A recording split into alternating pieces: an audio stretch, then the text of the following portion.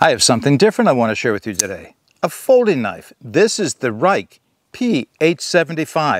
If you're interested in hearing my thoughts on this, keep watching. All right, just before we get started, I want to thank the company Ruike of Canada for sending me the P875 so that I could share it with you. So what did I mean when I said something different? How often have you seen me review a folding knife on this channel? Only a couple times, I think. Now, I have a lot of folding knives at home. I have some fairly good ones. I have very few that are in the what you would call the expensive range, but uh, it's it's just not something I take out into the woods with me every day. However, I do carry a folding knife with me every day. So let's get into the details of this knife. What we're going to do is just focus in a little closer so I can give you some closer look at it. I'll go over its specifications and I'll talk about my experiences carrying it. All right, so once again, this is the Ruike P875-SZ. And before someone says it, yes, it is a flipper design. Mark, aren't those illegal in Canada? Because that's the rumor.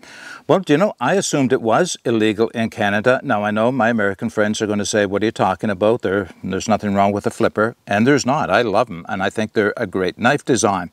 In Canada, though, you have trouble importing these. However, what's interesting is Ruike of Canada had no problem shipping this to me. So I said, if you're okay with shipping it to me, I'm okay with reviewing it. So that's the reason why I have this as a flipper knife here in Canada. Yes, unusual, I know. All right, let's get into a few details as I give you some looks over the knife. So as it stands right now, overall length 8.19 inches, which is 208 millimeters. Blade length 3.5 inches, 89 millimeters. Blade thickness 0.14 of an inch, 3.5 millimeters. Overall weight, 4.94 inches, 148 grams. Blade steel, 14C28N Sandvik stainless steel. So good choice for a folding knife. We'll talk more about that in a few moments time.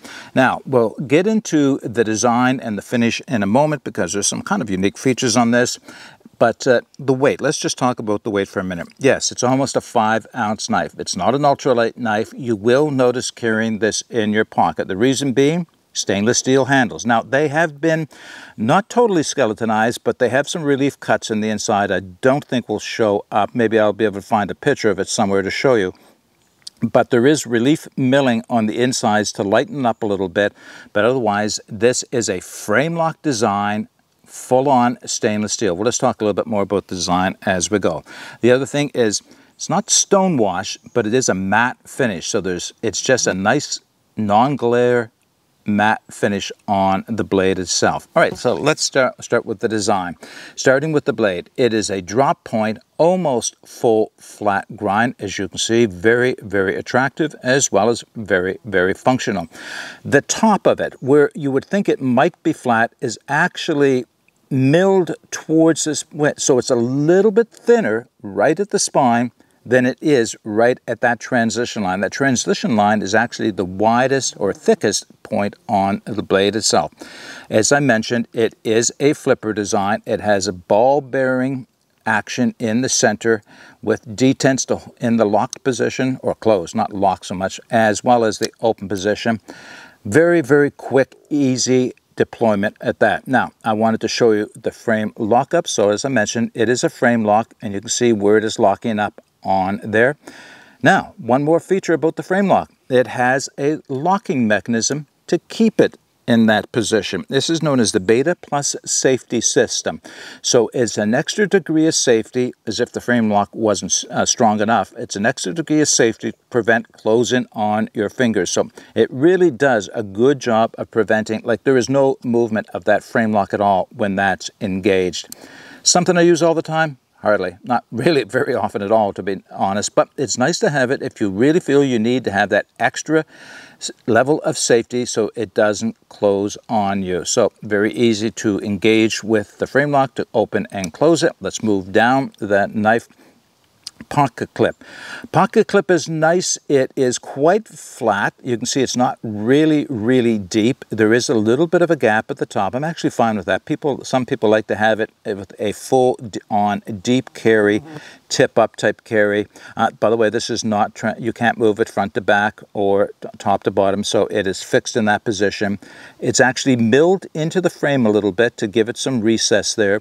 My only comment on this is um, I like it. It when I put it in my jeans pocket, something about the the top of the jeans pocket just make it a little bit too, difficult to get out. However, every other pair of pants I wear, uh, it's not a problem at all. And maybe that's just an extra degree of security. I'm not sure.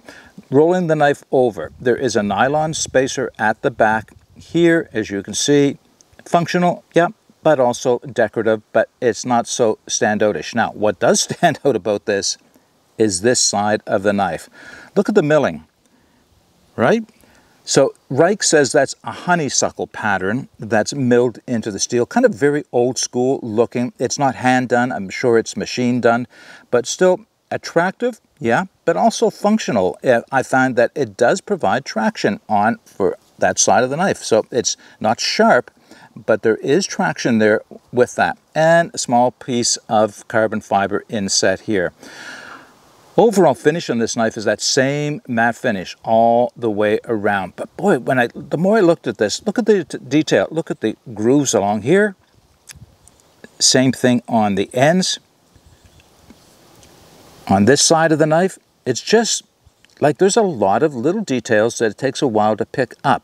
Even right up here. Now let me just show you an advantage of that I didn't expect. It's almost like a thumb ramp to lay my thumb here. In this position, and in this position, it works very, very well. Of course, the flipper does act like a bit of a guard if you need that to keep your fingers from moving forward onto the blade for any reason. Just a nice looking knife. I, I like it as a dressy knife in, in terms of it as a good looking knife that you know you're proud to own, you don't mind showing off the quality, the construction and everything else. Way above its price point, I'll tell you that. Any downsides? Just a little bit heavy. Like this is not something you're going to wear to the office, but if it goes in my jeans well enough, or in any other pair of pants that I'm wearing, love playing with that flipper. All right, let's just focus back out. I'll give you some of my experiences carrying this. So as I mentioned when I opened the video up, um, I don't do a lot of folding knife reviews because they're not a tool that I would take into the woods very often. Maybe as a backup to a larger knife when you don't need the strength of a fixed blade and, and a folding knife will work. Yeah, maybe then, but not often. I, but however, having said that, I do carry one every day. I carry, there are two knives that I always have with me. One is a small multi-tool from Leatherman, the little, hmm, what's it called? It's the one that has the pliers and the scissors. I love it. It's been something my wife gave me many years ago. That's always on me every day. And then some other type of folding knife. It's something out of my rotation. As I mentioned, I have quite a collection. Some of them are old school, most of them are old school knives, but a lot of them are knives like this that are a, a folding knife with some type of a locking mechanism and a pocket clip on it so I can carry it in my pocket. So yeah, I have them every day. What do I use them for?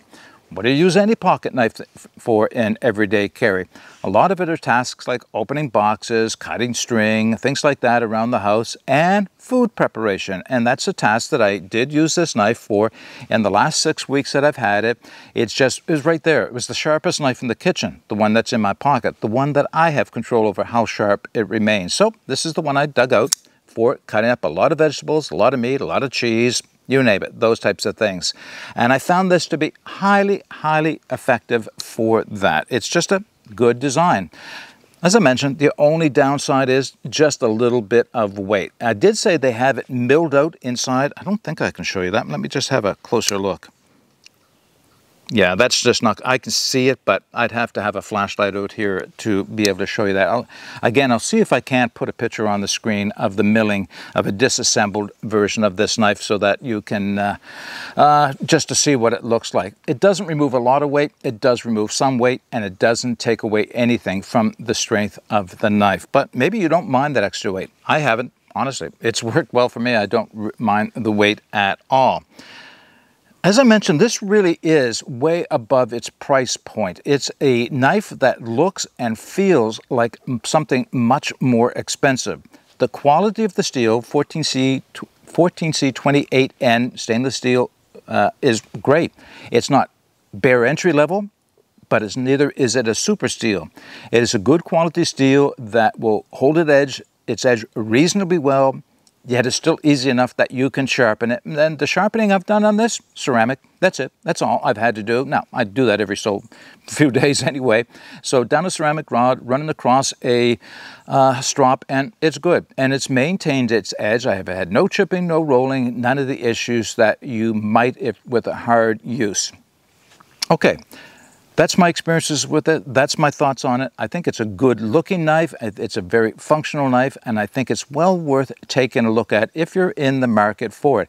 Again, I was as surprised as many of you are, will be that I could get this in Canada from a Canadian distributor we'll go with it as long as they're willing to send them, then we'll buy them, right? All right, if you have any comments or questions, put them in the comments section below. All the specifications and the links to where you can see this knife in the Ruike of Canada will be in the video description. Until next time, get out and explore and take that path less traveled because it will make all the difference. Bye for now.